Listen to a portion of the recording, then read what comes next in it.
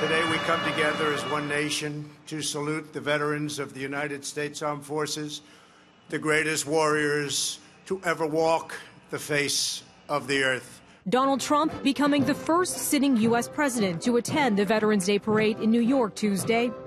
From behind bulletproof glass, he honored the men and women who've served and sacrificed. And to the 18 million veterans across our country, the First Lady and I have come to express the everlasting love and loyalty of 327 million Americans. While veterans were the focus of the ceremony, a reminder of the impeachment drama was nearby. In the windows of a building overlooking the park where Trump delivered his speech, signs were posted that read impeach and convict. This just days before the public phase of the impeachment inquiry into Trump begins, with televised hearings starting Wednesday.